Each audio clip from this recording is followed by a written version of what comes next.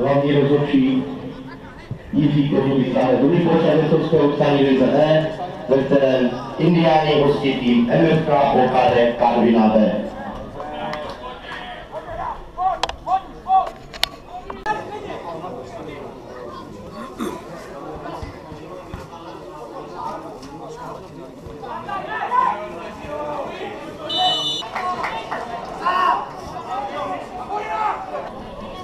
Amiga!